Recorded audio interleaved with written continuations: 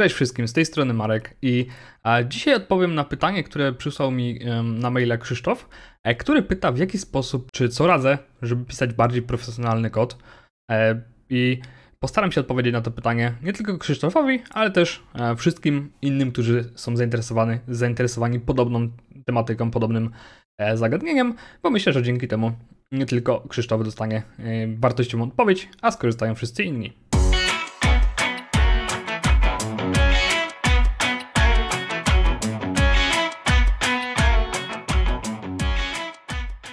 Na początek warto w ogóle e, sobie zdefiniować, co znaczy profesjonalny kod. No bo e, tak naprawdę można powiedzieć, czy mógłbym powiedzieć, że profesjonalny kod to jest każdy kod, który piszemy w pracy. Tylko, że jeżeli e, ktokolwiek by zobaczył kod pisany w pracy, czy ktokolwiek wie, jak wygląda kod pisany w pracy, to tak naprawdę rozstrzał jest bardzo duży. Od bardzo kiepskiego kodu, który piszemy na chwilę, który piszemy na szybko, który piszemy po to, żeby przetestować jakąś funkcjonalność, po wymuskane fragmenty kodu, które są wręcz idealne, bo akurat mieliśmy chwilę czasu, żeby nad tym siąść, akurat może klient dał nam więcej czasu, e, może akurat liczyła się mm, perfekcyjna jakość.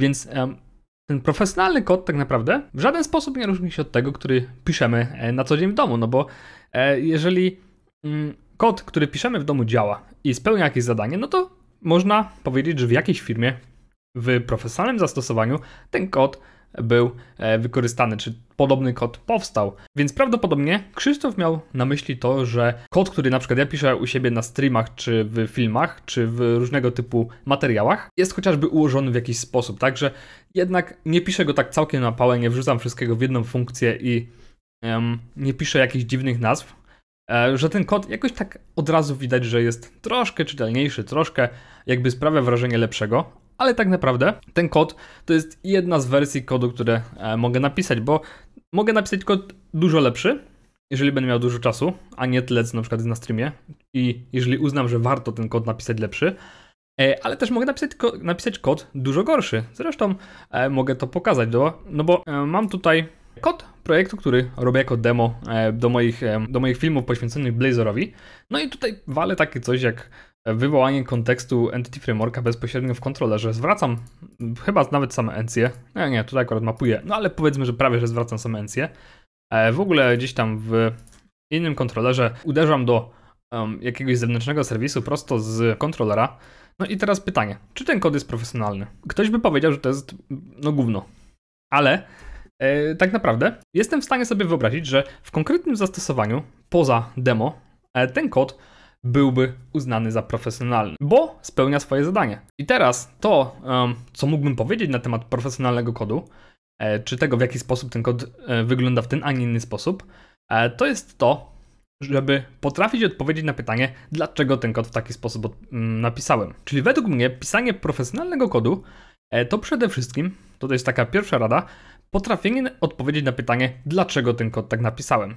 Bo jeżeli twoją jedyną odpowiedzią jest to, że napisałem ten kod w ten sposób, bo nie wiem jak inaczej pisać kod, no to znaczy, że potrzebujesz e, się dokształcić, dowiedzieć, e, zapoznać z jakimiś zasadami pisania kodu.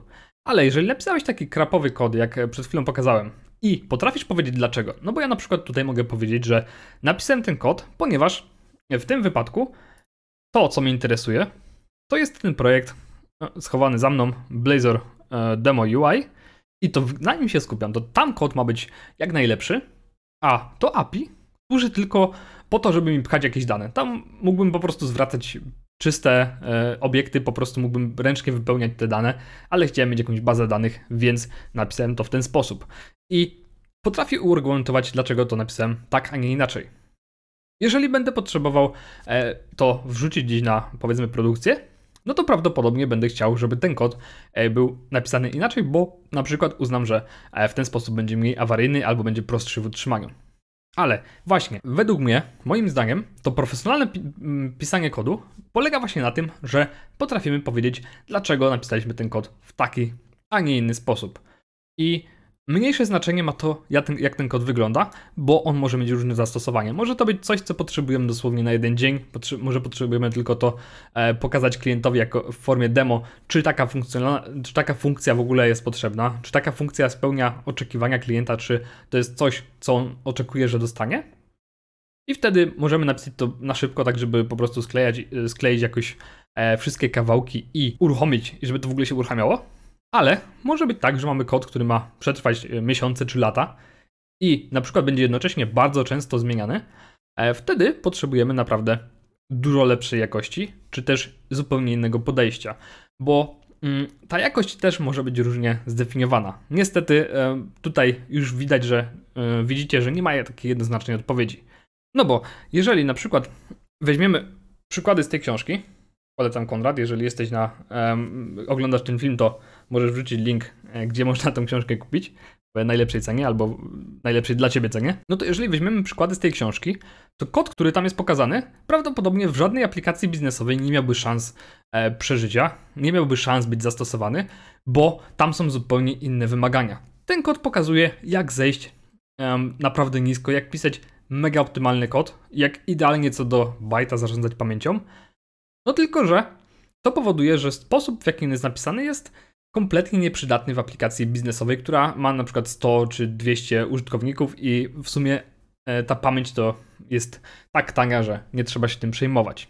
Zresztą e, polecam Wam w tym miejscu mój, moją rozmowę z Konradem, do której link znajdziecie w opisie tego filmu, a jeżeli mi się uda, to gdzieś tutaj będzie też przycisk, chociaż jeszcze nigdy tego nie dodawałem. Tak samo, jeżeli na przykład weźmiemy sobie różnego typu zagadnienia opisane w tej książce, dotyczące jednak wydajnych aplikacji przetwarzających masę danych, to prawdopodobnie znowu, jeżeli zastosujemy e, pokazane w niej jakieś wzorce, w aplikacji, która jest nie wiem, blogiem, sklepem, takim mniejszym niż Amazon, no to może się okazać, że e, piszemy, piszemy kod, który jest nam kompletnie niepotrzebny i wtedy nasza odpowiedź na pytanie, dlaczego ten kod napisaliśmy, będzie nieznana, czy nie będziemy potrafili odpowiedzieć na to pytanie.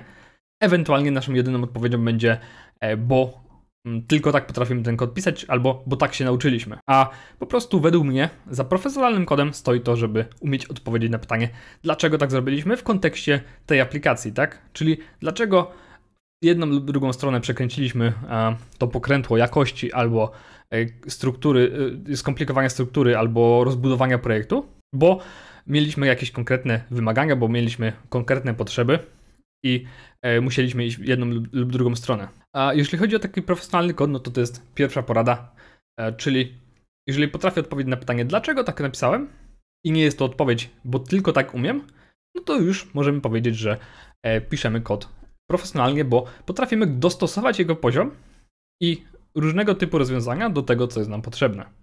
No dobrze, ale to jest y, tak naprawdę jedna część, która odpowiada e, o, opowiada o naszym podejściu do pisania kodu. I teraz warto odpowiedzieć na to pytanie e, Krzysztofa, czyli a, jak ten profesjonalny kod pisać. Czyli prawdopodobnie chodzi mu o taki kod e, wyższej jakości, kod, y, który łatwiej utrzymywać. No i tutaj niestety Niestety, moją odpowiedzią jest, że to wymaga czasu. Po prostu to wymaga czasu.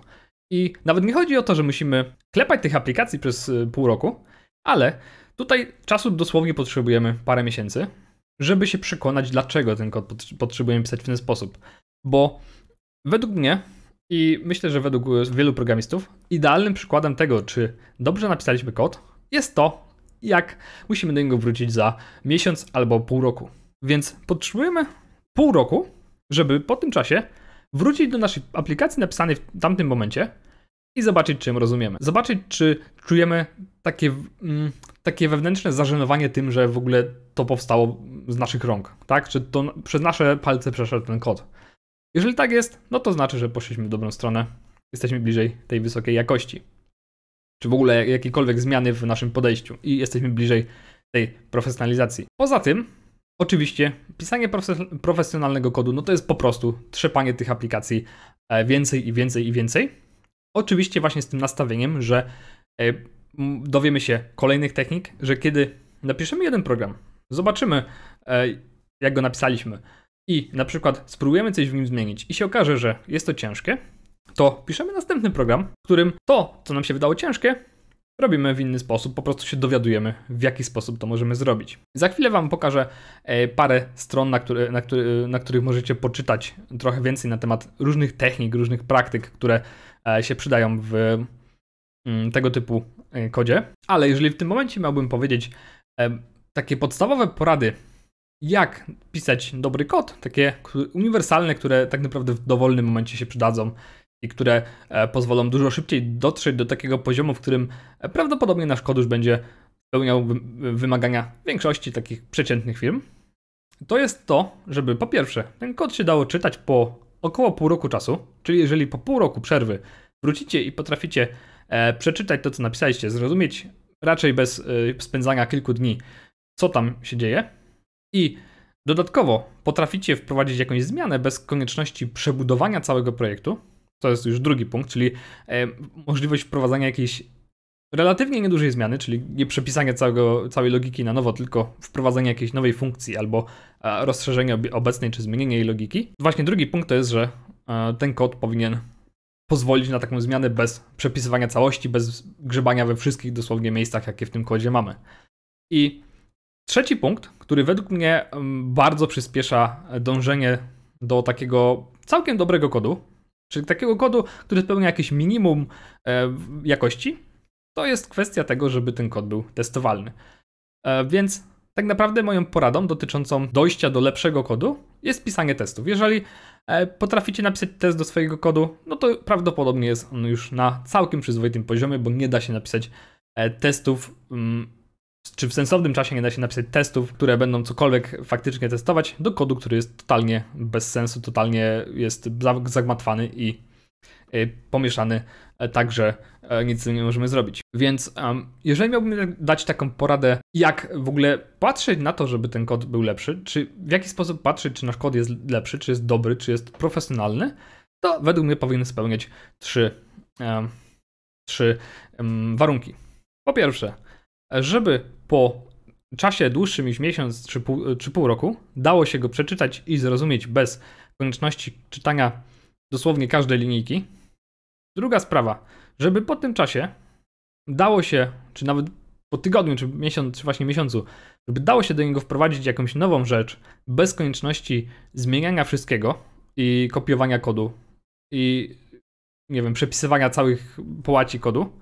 I trzecia sprawa, żeby się dało napisać jakiekolwiek testy do, do tego kodu. Jeżeli wasz kod będzie spełniał te trzy rzeczy, to właściwie na początek na bycie jakimś juniorem, jakimś osobą, jakąś osobą, która chce wejść już e, trochę wyżej niż staż, e, będzie to w zupełności wystarczające.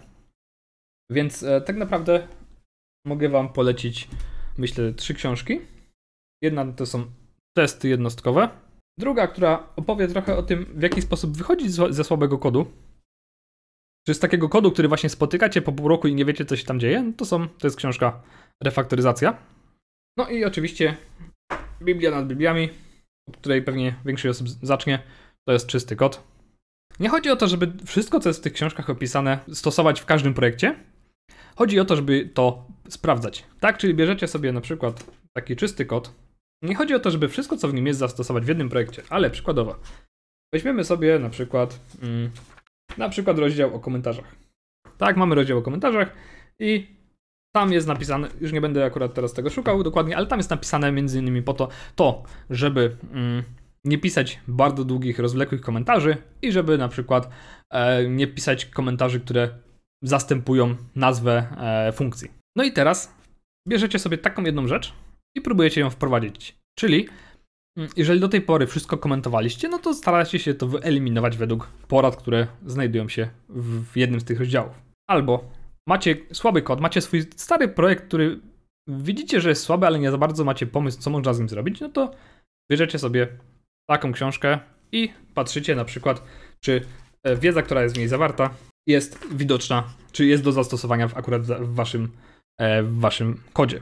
Jest na przykład o dziedziczeniu, o wywołaniu metod, o upraszczaniu wyrażeń warunkowych. Więc na przykład jeżeli piszecie strasznie skomplikowane wyrażenie warunkowe, no to możecie sobie zobaczyć w jaki sposób można to uprościć. No i teraz, biorąc e, te kolejne fragmenty, te kolejne zasady, czy to z tych książek, czy ze stron, które za chwilę Wam pokażę, po prostu budujecie tą swoją wiedzę na temat konkretnych technik, które możecie, można zastosować. I teraz w każdym następnym programie, który napiszecie i w którym postaracie się najpierw świadomie, a później coraz mniej świadomie stosować te techniki, wasz kod będzie po prostu automatycznie trochę lepszy. Oczywiście budowanie y, naprawdę dużych serwisów, no to już jest domena osób y, no po prostu z, z dużym doświadczeniem, które przeżyły kilka dużych projektów, przeżyły kilka upadających projektów, czy kilkanaście, czy kilkadziesiąt upadających projektów i to po prostu wymaga czasu, ale taką, pod, taką podstawową umiejętność, takie podstawowe nawyki, żeby e, od razu pisząc swój kod pilnować pewnych zachowań czy pewnych zasad, możecie sobie wyrobić po prostu na przestrzeni kilku miesięcy, właśnie robiąc w ten sposób, że bierzecie swój projekt, piszecie go dosłownie tak, jak wam e, na, do palców przyjdzie, może być kompletnie beznadziejny. I teraz bierzecie sobie konkretną porcję wiedzy, czy właśnie z książek, które pokazałem, czy um, z innych źródeł i szukacie miejsc, które pasują do danego opisu, tak? Czyli jeżeli na przykład jest um, mowa o wieloset linijkowych metodach, no to szukajcie, czy macie takie metody. No i jeżeli macie takie metody, no to pewnie możecie się odnieść do argumentów, które są w tej książce czy e, stronie opisane, że na przykład ciężko taką metodę przetestować. Albo na przykład ciężko taką metodę użyć wielokrotnie. No i teraz bierzecie sobie tą metodę i zaczynacie ją dzielić. I w ten sposób wyrabiacie sobie taki nawyk, czy takie skojarzenie, że jeżeli widzicie coraz więcej linii kodu w tej metodzie, no to automatycznie coś, coś jest e, nie tak. Czuje, zaczynacie czuć po tych dwóch, trzech, pięciu projektach, że coś jest nie tak. I od razu wam przychodzi do głowy, żeby tą metodę wyciągnąć, czy podzielić na mniejsze e, metody, zrobić z niej kilka innych metod, e, które razem będą robić to, co chcecie. Bo nie chodzi o to, żeby stosować jakieś straszne architektury, jakieś nie wiadomo jakie wzorce. Po prostu chodzi o takie drobne nawyki, bo w tym kodzie, który ja pokazuję u siebie, tak naprawdę to wszystko, co wy widzicie i co prawdopodobnie na przykład Krzysztof czy inne osoby uznają za mm, jakiś profesjonalny czy dobry kod, to są takie drobne rzeczy, tak? Czyli właśnie e, to, że jak widzę długą funkcję, to od razu chcę ją podzielić. To, że e, te nazwy staram się od razu pisać takie w miarę poprawne. To, że e, na przykład sobie mm, dzielę klasy na mniejsze, to są takie drobne nawyki. Ja tam w ogóle się nie, zastanawiam, nie zastanawiam nad architekturą. Prawdopodobnie te osoby, które są na początku, nawet nie zwracają uwagi, jaka tam jest architektura to, że kod wydaje się taki w miarę fajny, taki na pierwszy rzut oka e, w miarę przyjemny, to są takie drobne rzeczy. I teraz, poza tymi książkami, do których zresztą e, linki wam wrzucę, wrzucę w opisie, możecie zastosować, czy możecie, możecie zobaczyć kilka stron. Pierwsza strona, która według mnie e, bardzo fajnie pokazuje różnego typu wzorce czy sposoby rozwiązywania problemów. Jest to już taki poziom raczej bardziej taki zaawansowany trochę, ale myślę, że warto chociaż sobie zobaczyć w ogóle w jaki sposób e, można podejść do pisania kodu. To jest, wracamy do tego, co mówiłem o e, odpowiedzeniu na pytanie, dlaczego coś tak zrobiliśmy. To jest strona czy blog Enterprise e, Craftsmanship, do którego link oczywiście znajdziecie w opisie. I tutaj są różnego typu posty na temat pisania kodu takiego powiedzmy biznesowego, takiego e, korporacyjnego. Tu są opisane po prostu różnego typu e, zagadnienia, wzorce projektowe, jakieś e, podejścia do architektury czy rozwiązywania problemów. Na przykład, jak przetestować abstrakcyjną klasę. Kolejna rzecz, od której warto zdecydowanie zacząć, to jest, to jest strona Refactoring Guru. Do niej oczywiście też link znajdziecie w opisie. I wersja angielska jest najbardziej pełna bo w polskiej nie ma części o refaktoryzacji, więc część angielska e, macie tutaj na temat refaktoryzacji, um, czyli w jaki sposób ulepszyć swój kod, więc warto się z tym zapoznać. No i wzorce projektowe, no to myślę, że um, jeżeli ktoś w ogóle myśli o tym, że chce poprawić jakość swojego kodu, to pewnie o wzorcach projektowych cokolwiek myślał albo słyszał. Kolejna rzecz, czyli kolejny punkt dotyczący poznawania różnych sposobów rozwiązywania problemów czy zagadnień związanych z budowaniem aplikacji, no to są na przykład e, takie książki dostępne na stronie Microsoftu i tutaj możemy sobie zobaczyć w jaki sposób jest budowana jakaś aplikacja, na przykład chcemy aplikację w ASP.NET, więc sobie klikamy i tu mamy PDF-a, którego możemy po prostu pobrać. No i w tym PDF-ie e, znajdziecie po prostu kompletny przewodnik po tym, jak napisać aplikację. To jest chyba akurat w tym wypadku o sklep online, jak coś takiego napisać, jak to wdrożyć i tak dalej, i tak dalej.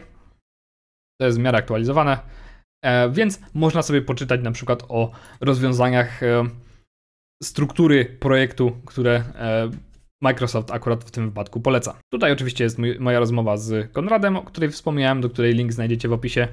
A jeżeli ktoś na przykład ma swój projekt i nie za bardzo czuje, co jest tam nie tak, co można by zmienić, co jest takim właśnie co jest takimi prostymi krokami, które można od razu sobie pozamieniać, no to można skorzystać z, konsultacji u mnie. To jest taka Mała reklama, możecie wejść na stronę zającmarek.com konsultacje, do której link też znajdziecie w opisie i umówić się ze mną na takie godzinne albo dłuższe, krótsze konsultacje i możemy sobie pogadać o e, waszym projekcie i na przykład pogadać o rozwiązaniach, które można w nim zastosować albo o dylematach czy wątpliwościach, jakie macie. Podsumowując, jeżeli mówimy o pisaniu profesjonalnego kodu, to nie jest tak, że jest jakiś jeden sposób pisania takiego kodu. Chodzi o to, żeby dopasowywać rozwiązania do, do, do problemu, jaki rozwiązujemy. Czyli właśnie to, co powiedziałem, potrafić odpowiedzieć na pytanie, dlaczego w ten sposób napisałem kod, bo może on być totalnie beznadziejny, ale wiem, dlaczego tak to zrobiłem i wtedy prawdopodobnie jest to ok, no bo zgodziłem się po prostu na e, tą jakość. I druga sprawa to są te według mnie trzy rzeczy, e, które e, taki kod powinien mm, spełniać, żeby uznać, że jest całkiem spoko. Oczywiście mówimy o takim kodzie, który właśnie już nie jest kodem napisanym na tydzień i po tygodniu ma być wyrzucony, tylko takim kodem, który faktycznie będzie istniał w aplikacji. No to jest po pierwsze, żeby po dłuższym okresie dało się go przeczytać. Dłuższy okres to jest tak między miesiąc a pół roku. Myślę, że to jest dobry dobry benchmark. Druga sprawa, żeby dało się dopisać do tego kodu nową rzecz bez przepisywania całości albo bez kopiowania fragmentów w kółko i w kółko w nowe miejsca, albo w ogóle zmieniania struktury wszystkiego. I trzecia sprawa, żeby się dało ten kod e, przetestować, jakkolwiek. Nie trzeba od razu e, musieć testować wszystkiego, żeby się dało napisać do ważniejszych części tego programu po prostu jakieś testy, które będą cokolwiek sprawdzać. I ostatnia rzecz w dążeniu do tego, żeby ten kod był lepszy, to jest budowanie właśnie takich małych nawyków związanych z drobnymi fragmentami kodu. Bo architektura, projektu będzie się zmieniać z projektu na projekt. Struktura katalogów będzie się zmieniać w każdym projekcie, być może. Ale może nie, może tak, ale będzie, może się zmieniać.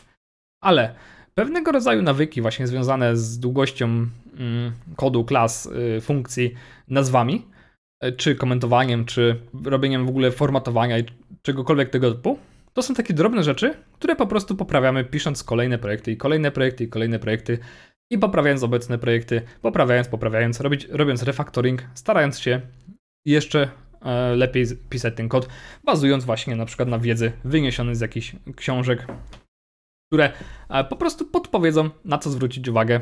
I, e, I nie chodzi o to, żeby całą taką książkę zastosować w jednym projekcie, tylko żeby wziąć z niej na przykład dwie strony, które mówią o jednej rzeczy i te dwie strony po prostu zastosować, przerobić, zobaczyć dlaczego to ma sens, zastanowić się dlaczego to ma sens i wtedy będziemy potrafili następnym razem po pierwsze automatycznie napisać kod w ten sposób, no bo to nam po prostu wejdzie w nawyk, jak napiszemy to drugi, piąty, dziesiąty raz, a po drugie zyskamy wiedzę, dlaczego warto to robić, no bo to sprawdziliśmy, faktycznie zobaczyliśmy, że na przykład przez to nasz kod się łatwiej czyta i teraz nagle mogę dodać do tego kodu testy albo jakąś nową funkcję bez yy, rozwalania wszystkiego. No i dzięki temu nasz kod, nawet jeżeli będziemy go pisać kompletnie bezmyślnie, tak na szybko, właśnie jak ja to na przykład robię na streamach, czy y, pisząc jakiś y, proof of concept, to i tak ten kod będzie trzymał jakiś w miarę przyzwoity poziom.